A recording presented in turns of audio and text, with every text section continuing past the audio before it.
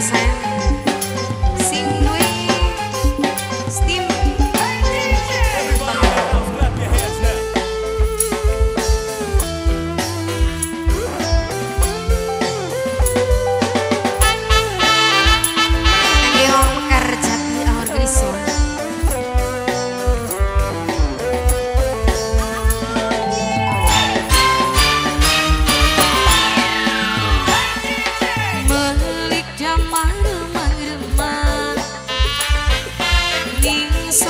sống khi đuôi đàn lá